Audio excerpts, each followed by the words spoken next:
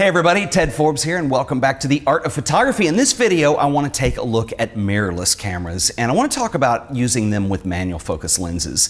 And you know, the really cool thing with a lot of the mirrorless design um, that really appealed to me early on and the reason I got into mirrorless cameras was that I have a lot of old 35 millimeter cameras and I have a lot of lenses. And so it made sense that all of a sudden if I could get an adapter that would work with my mirrorless cameras, that all of a sudden I would have access to this full range of lenses. Well, truth be known, when I first got into this, uh, it was a little bit frustrating because you don't have a mirror and everything is displayed on a screen, whether it's the back screen on here or whether it's the viewfinder.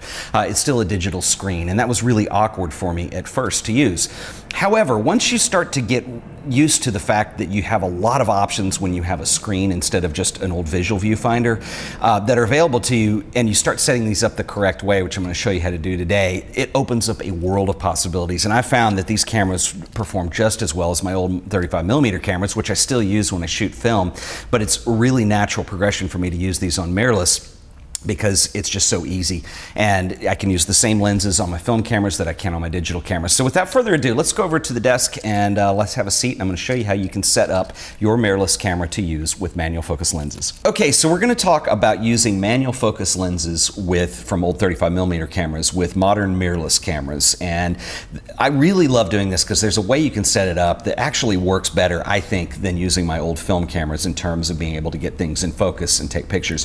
What's important to note here is I'm using a, uh, my Sony a7S for this example, but you could apply this same concept to anything that's mirrorless. So micro four thirds camera, uh, anything across the Sony line. There's lots of wonderful Panasonic cameras. Anyway, anything that's micro four thirds, Olympus, you can do this with because you don't have that mirror included inside the camera body. The distance from the sensor to the edge of the the, uh, the lens mount is pretty short, which means if you can get an adapter, and there's tons of adapters available for just about anything you can imagine um, on eBay or Amazon, if you can find an adapter, you can probably get an old favorite lens on here. And what I really like about that is you might already own a large selection of old 35 millimeter lenses and being able to use those with a mirrorless camera is pretty cool. The first time I ever used a mirrorless camera was a little strange to me because there is no mirror. You're having to view everything on some kind of screen. So for instance, on the Sony, you have a screen on the back and then you do have a viewfinder, but they are both digital screens. But I've also found that once you have this set up correctly, there's things that you can do with an electronic screen that you can't with just the kind of old school viewfinder that will aid you in focusing and what, what you're doing that will make this even easier to use in the old 35 millimeter cameras. And so real quick, I want to show you my old Nikon FE2 and I used to, well, I still love Nikon 35 millimeter cameras. When I shoot 35 millimeter black and white, these are my go-tos. And I love them because they're just so easy to use. You can put your shutter speed on automatic, attach your lens, and then you're actually going to adjust your aperture on the lens collar it, could not be easier to use and I always love this setup. I also like the fact that the viewfinders in here you could see well enough through them to actually get things in focus without much assistance. Now, when the digital phenomenon DSLRs came out, uh, one of the things, I mean, especially if you're using some kind of crop sensor, it's really difficult to do manual focus with those cameras because your field of view is so much smaller. The viewfinder is smaller, the area that you're viewing is much smaller, and this is where, you know, autofocus really comes into play if you're using a DSLR, is because you need that aid to focus because you're just not going to be able to see through it as much. Now, also in the old days too, with, with Canon and Nikon and all these other cameras, is they were all proprietary mounts. So I couldn't really adapt my lenses to another camera system for the most part. There are some exceptions. Uh, for instance, with DSLRs, the Canon current autofocus format, you can mount Nikons too, but you can't mount Canons to a Nikon camera. So anyway, the the mirrorless stuff really takes all that and makes it obsolete, and now you can use whatever you want. So for instance, I've got two of my favorite lenses here. Um, this one is rather beat up, but I love it. It's my old Nikon 105 millimeter 2.5 aperture lens. Uh, this lens is kind of a classic lens. It was uh, it's a manual focus lens, and it was um, the one Steve McCurry used along with his FM2 to shoot the famous Afghan girl image. And so it's a little bit famous for that, but it's a great portrait lens. It's a nice uh, sort of telephoto length. It didn't go too far. It's really nice for shooting portraits and things of that nature, and I really love this lens. And I like to be able to use this with cameras now because one, I love the look of the lens, and two, uh, you know, it's a link that I like. I like to use it when I shoot video. I've used it on the show before. Over here, I've got a Canon. This is an old FD mount, which for years, I mean, Canon even abandoned this mount, so you can't even put this on a modern Canon camera. But now, thanks to mirrorless technology, as long as I have an adapter, I'm made in the shade and I can do that. So I have adapters attached to these lenses that just kind of live on here and you know you can take them off and see how they work.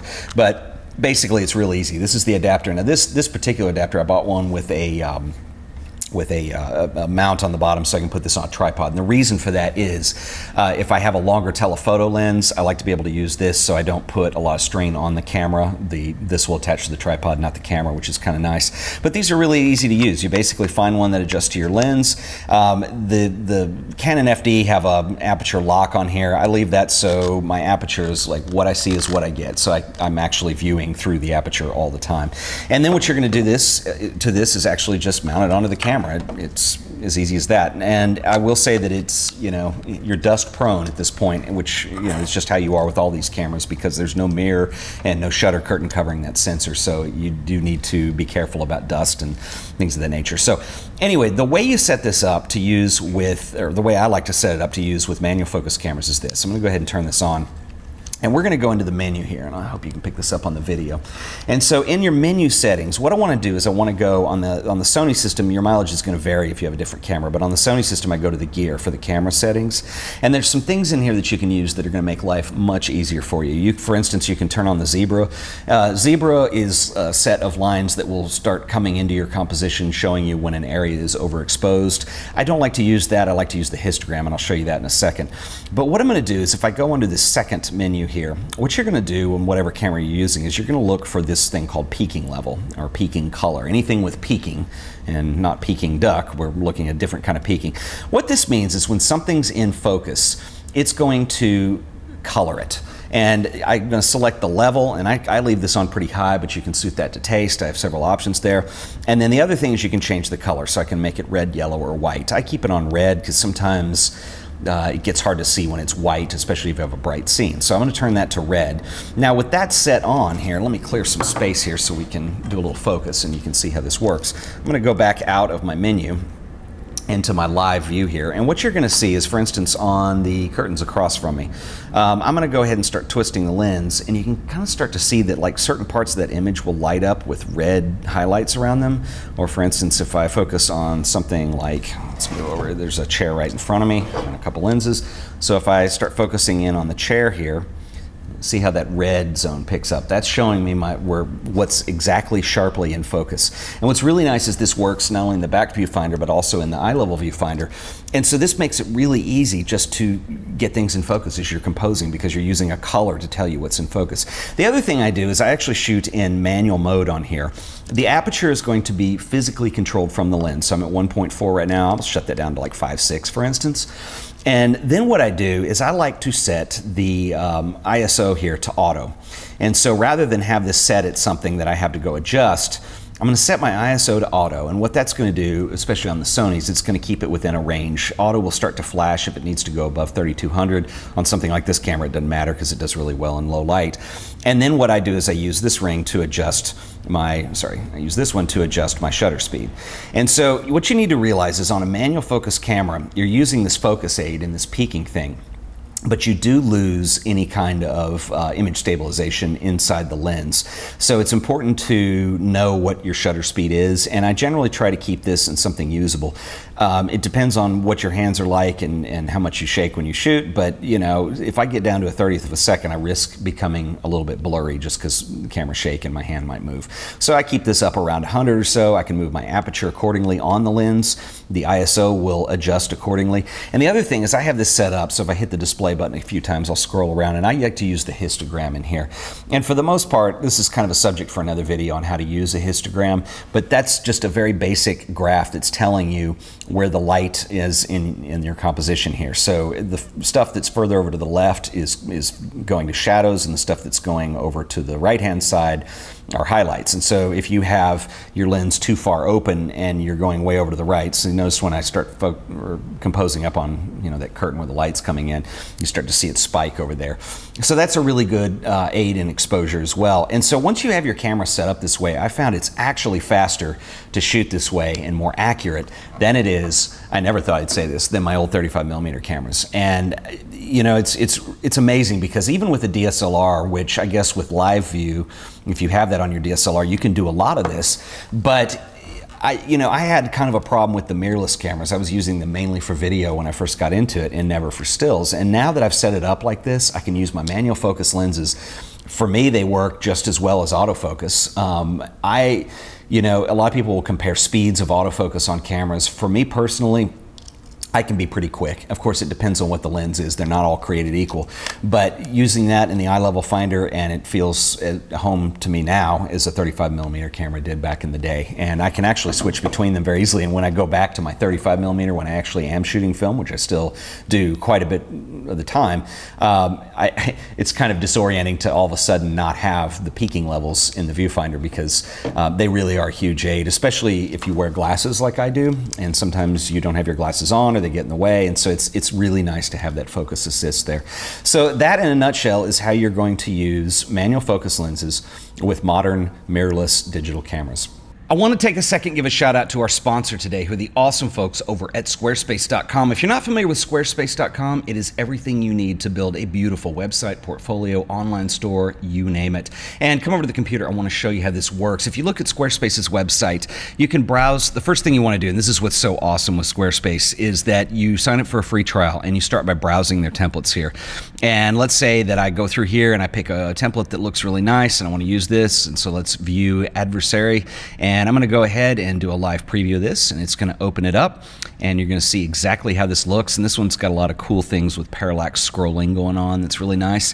And so let's say I want to start here. I want to build my photography portfolio, or I want to do something with that. And so you sign up for the free trial, go ahead and get started with the template, and then you can go in and you can pick your fonts and your colors and your layout schemes and your pages and how you want the whole thing to fit together. And what's what's really cool about Squarespace is even though we all kind of start from templates, everything's customizable. If you do your your own coding and you want to inject something in there, they have code injection too. So you're never really boxed in with Squarespace. And what's really cool is that you also don't get painted into a corner as your website grows. So if you want to offer e commerce or if you want to sell items on here, products or prints or digital downloads or whatever that may be, you can do that through Squarespace. And it is awesome. You just turn on the features and you go. It's a monthly price. It's about eight, they start at $8 a month. And Squarespace really are the easiest solution out there that's all in one for hosting and building your own website. And they have a deal right now for art of photography viewers. If you're interested, I can save you money. What you want to do is head over to squarespace.com and sign up for the free trial. And on checkout, use offer code AOP. That's going to save you 10% off your order. That, once again, is offer code AOP for the art of photography. And that'll get you 10% off. So go over there and try it now. They don't require a credit card or anything. Just go over and check it out and see what Squarespace will do for you. And I want to give an extra special shout out and thank you once again to the awesome folks over at Squarespace for once again sponsoring another episode of The Art of Photography. I hope you guys have found this useful. And for me, mirrorless technology is really quite amazing. And like I said, it just took a little bit of getting used to at first, but now um, the possibilities are there. I mean, I remember the first time I turned on one of my Sony cameras that I bought and put a manual focus lens on, and the first thing it puts you off is all the stuff that's all over the screen. And it takes you a little bit of time to go through and control and really realize what that stuff will do for you.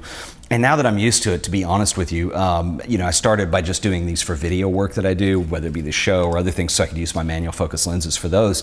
But really, I'm doing a lot of still photography that way now too, and it's really becoming harder and harder to go back to using a DSLR because I'm getting so used to the way that certain conveniences operate with a mirrorless design. Now, as I mentioned earlier, you can do this with any mirrorless camera. I happen to like Sony, and the reason I went with Sony is one, um, I really liked the way my video cameras were performing, and so it made sense because I use a lot of my digital work to cross over between still and digital to go with Sony. The other reason is, is that their mount is consistent and they also offer full frame cameras. So, for instance, the A7S is a full frame camera, and they also have APS-C size sensors too uh, such as the A6000 and some of those models as well. So it's the same mount for all those cameras, so my adapters would all fit, my lenses would all fit, and it would give me a lot of versatility. Micro Four Thirds works just as well, and there's some wonderful micro four, micro four thirds cameras out there. The only thing for me that I find frustrating about micro four thirds is the ability to use wide angle lenses. And we're talking about using your old um, SLR lenses from 35 millimeter cameras mainly in this video. And one thing that you're going to have a problem with with a micro four thirds camera is on the wide angle side of things. And it's because the size of that sensor is so small, it's essentially a crop factor, so you can divide anything or multiply by two. So if you have a 50 millimeter lens and you pop it on that camera, it's going to be the equivalent of a 100 millimeter lens on that 35 millimeter frame or on the 35 millimeter camera. So everything doubles. And so for instance, a wide angle lens, if you're looking to get something around full frame equivalent of 25, uh, 24 millimeter lens, you're gonna have to cut down and find a 12 meter lens. And on the 35 35 millimeter world, there's not a lot of 12 millimeter lenses that are not, uh, you know, either fish-eyed or they're not really expensive. So that's the one point of frustration for me was on wide angle, and so that's why I went with the Sony mount. And of course, with a full-frame camera, you don't have to worry about that. So anyway, all that to say, um, this technique you can use on just about anything with your your uh, digital display, and they work great. And so I hope you guys have found this useful. As always, if you like this video, remember to like it and share it with your friends, and subscribe for more videos, as I'm doing them quite frequently now. And I want you to always stay up on the latest and the greatest. Until next time, this has been another episode of The Art of Photography. I'll see you in the next video. Later.